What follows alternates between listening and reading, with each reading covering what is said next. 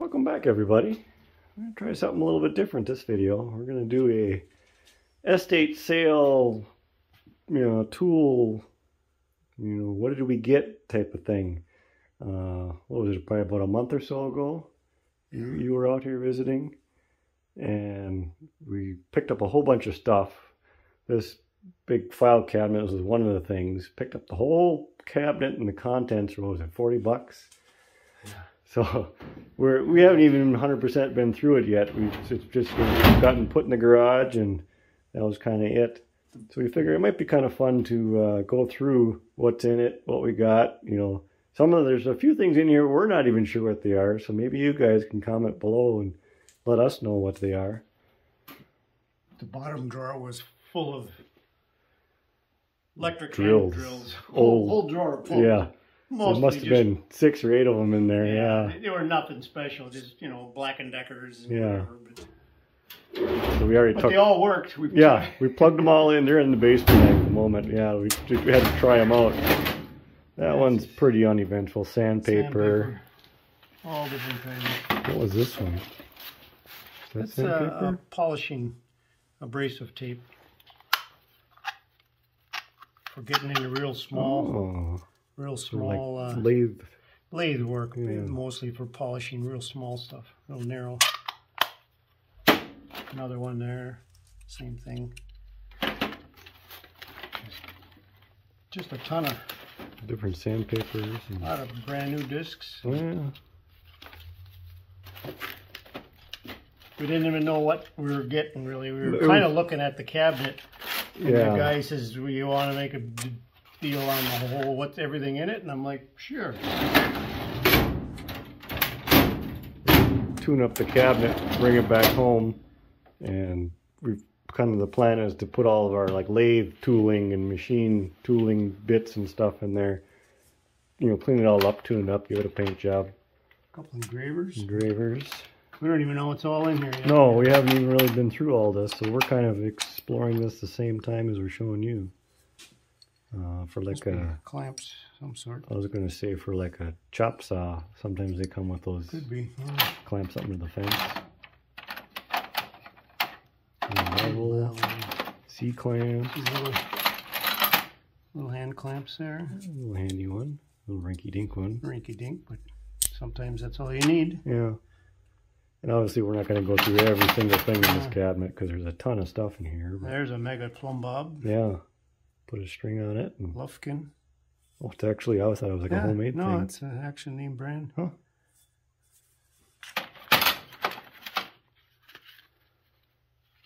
Brad nails. Brad nails.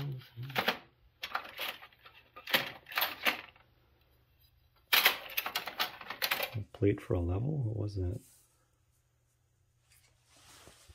I don't know what this is. It almost looks like graphite inside there. Stanley. Yeah, it's like from a old wood level. like a tube of graphite. Graphite? Powder? Powder, yeah. Huh.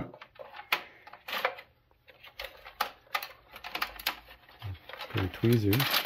Tweezers, and But a nail pen. Farmers. Union lumber. Kenmare, North Dakota. Farmers Union.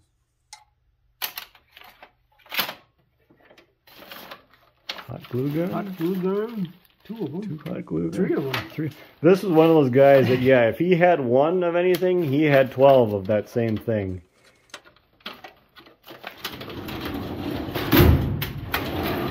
What we got here? Pry bars. Yeah, nail puller. A lot of guys don't know what those are. Why don't you show them that?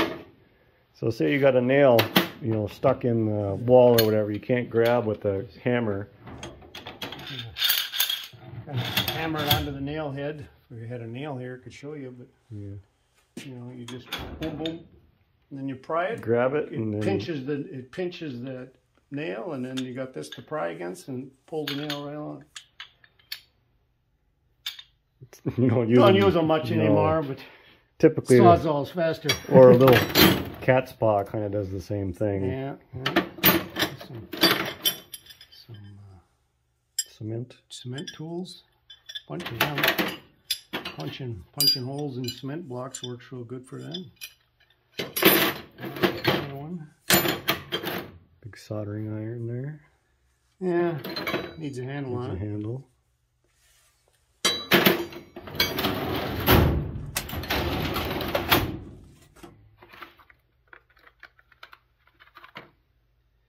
Just a little miscellaneous, whole bunch of utility knives, Big rat. files, rasp, paint, Paint scrapers, scrapers.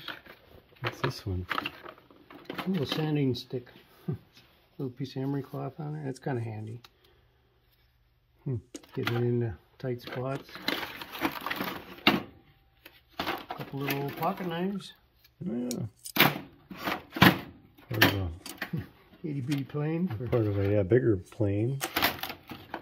some of the stuff is just yeah, ain't worth A lot of it's nothing special, but But it's just kind of fun. Uh, nice little little Stanley hand plane there. Those always come in handy. what's this one about? Some Scraping kind of a, grout or something? could be just a little scraper tool. Or a score for like cement Score, maybe? cutting plastic. Or- You know, I guess you could use it for a lot of things.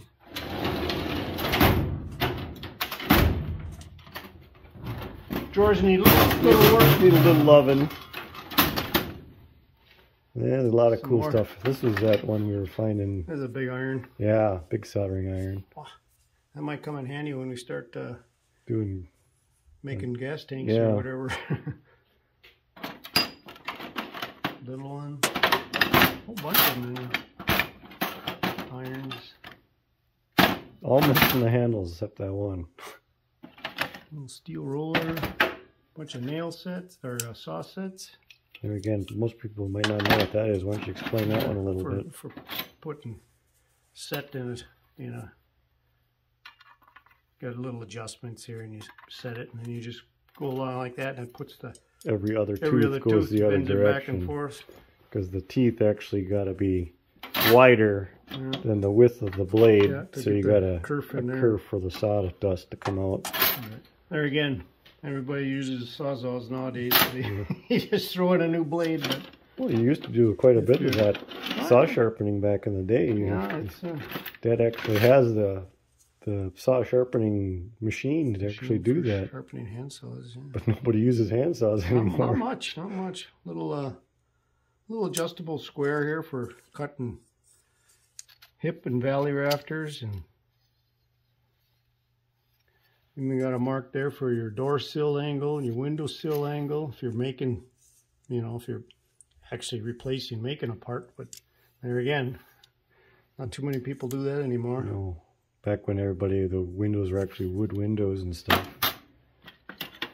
So okay, This tool, we're not sure what it is. It says on the side of it, General Cement Manufacturing Company. But it almost looks like a stripper tool there of some sort. yeah, And then this part almost looks like a like a nibbler for we tried it on a piece of tin and it worked really great. Put a nice little notch in the tin there, but we're not sure what it really is for. so yeah. If you know what those are, leave a comment below because yeah, we've Never seen that one before. We don't know what that one is exactly. Show them that. Yeah. Nice little uh, uh Okay, I gotta compare. I'll show you. I'll grab mine. So I got what we consider a, a normal one of them as far as how they work. It's the same tool, but it uh, here show them how they work. This is typically the ones you see nowadays. You know, just a wing nut on it. You set angles, whatever, tracing, cutting, whatever angles. But this one is an old one. You loosen the thing on the end there. Same thing. Set your angle. Same tool, but and then you just tighten that up instead of the wing nut on there. I thought, boy, that's pretty cool. That's, so like I was looking yesterday. I was like, how the heck does that mechanism work? It must Yeah. be this chunk here must be on an uh, like an eccentric. Yeah, it's like a where- long where it needle. pulls it in sideways. There's a little taper on the end there, so it must uh, tighten it on the end. I just thought ah, that was pretty neat. Yeah, I've never seen one like that. What is it, Old Stanley? It's I a Stanley, was? yeah. Number eight, number 18, Stanley, eight inch. That's yeah, I don't kinda- know. That's kind That of was cool. kind of neat. Old tool. Back of my toolbox. Oh, lots of drill bits. Whole bunch of sawzall blades. A little, another little shop level. It's, Laser on it. oh, and even got a little laser in the end. Have to put some batteries Wonder in if there that see works. if it works. A stone package of coping saw blades. little adjustable square, little compass here. You know, one of these, what do you call them? Uh, I don't know, um, push drill, whatever. I don't know, old school, whatever. Most people don't use them anymore either. Here, I can do it with one hand. Yeah, it's just kind of goes in and out. That one doesn't work. It works. It works. It did, this is a cheaper one though. There's another one in here Another one somewhere here. that works better.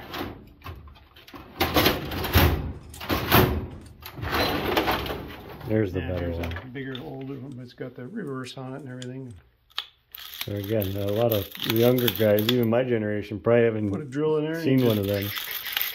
Hand drill if you don't want to carry an electric drill or anything with or battery. Oh, this is kind of neat. We got a knockout for metal. So like electricians use them a lot. Electricians use them a Like lot. say yeah. you want to uh, punch a hole in Punch a hole in breaker a box, yeah. you know, for a piece of conduit where there isn't a pre-punched hole.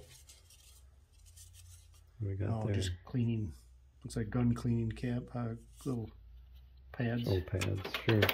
Got a bunch of drill bits, a little pipe wrench. Some big drill bits. Yeah, we'll use those. Yeah.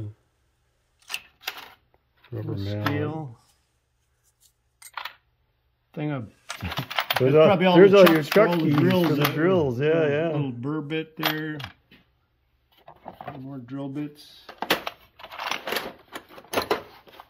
Another one of those push drill screwdriver type there. It's actually kind of a interesting. Uh, you know, it always slides Yeah, back and yeah, forth when yeah. they put a bunch of little spacers on there. little extendo, probably drill or tap extendo, you know, for Oh, extension. Got a little set screws in there for tightening down. try for these bigger ones. Tapered reamers here for something. Eighth to a half. I don't know if that's a, a certain, like a Morse taper or something. I'm not sure. There's another bigger one over here. Kind of rough, kind of rough. They're all chipped up, but they might be good enough just to clean up something someday. Yeah. What's this is here? I think that's another rivet. rivet, another separate riveting. I know we got some other ones that are for uh, uh, like putting the little brass rivets on on the old brake pads. Sure. Kind of rolls them over.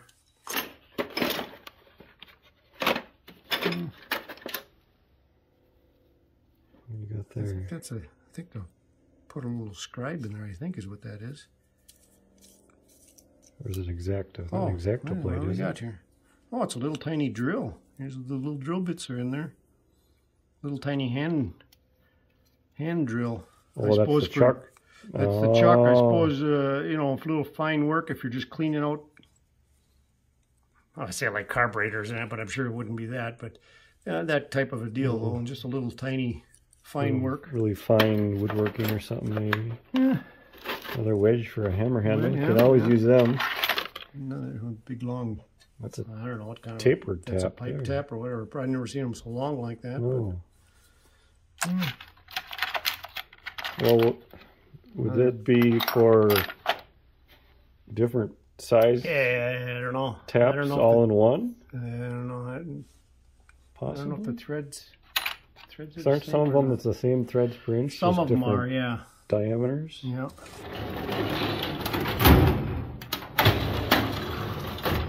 Yeah, a lot of little things up in this drawer. What we got? Some Compasses. Okay, I got one for you. It's a regional thing. What do you call this? Leave a comment below. What do we call them? Snapline. Well, or chalk box. Or chalk box. Chalk box. I, I know I did that at work when I first moved out here, and my boss looked at me like, "What are you talking about? You know, chalk box. You mean a chalk line? Yeah, chalk box. It's Oh, chalk box is a chalk line. or you, you can use it for plumb bobs. I can use it for a plumb bob too, yeah. But I think that's kind of a regional thing. Yeah. Chalk box.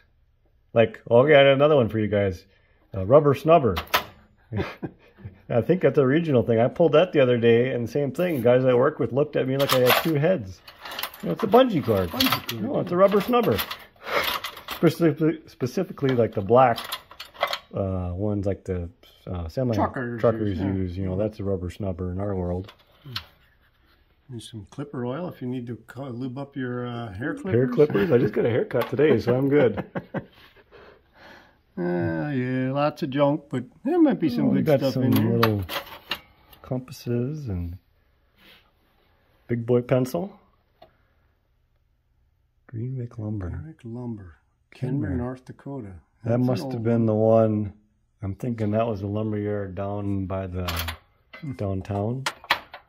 Um, where you go down from the old hardware store. Down by the old Irwin Hotel. Look at that, made in USA. That's a cute C-clamp. clamp. Yeah. Anyway, That's a spark plug for the 612 there. What is that? Just a pencil? What is that? yeah, that's a lead pencil. Lead pencil? I was looking at that earlier. And you turn the end of it, and the lead comes out. Oh, I got kind of neat. wooden one. Oh, wooden, made out of wood. Huh.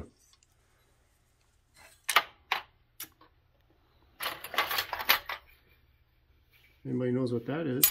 Oh yeah, show them that one. We didn't know what that one was either.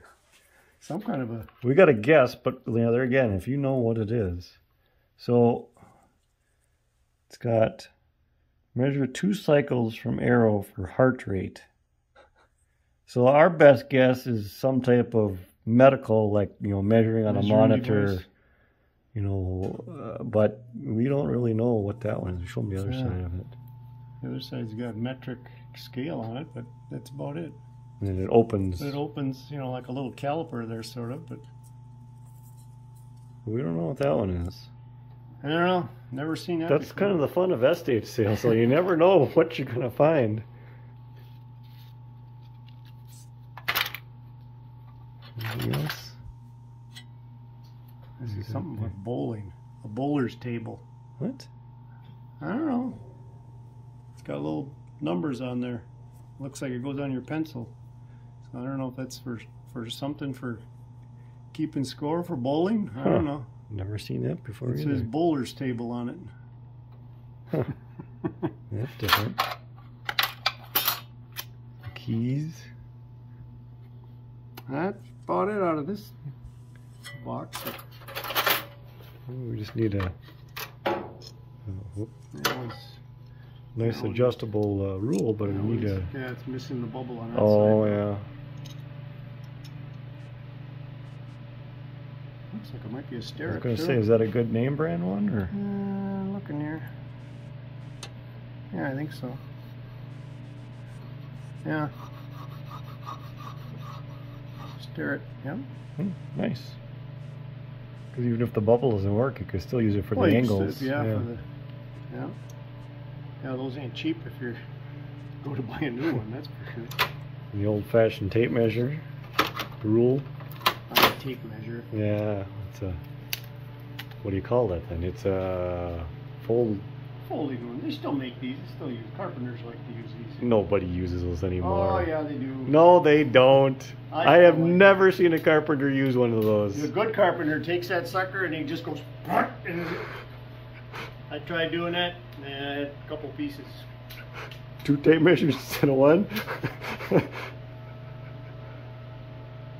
a Stanley. Hmm. Old school carpenters use them. yeah, yeah.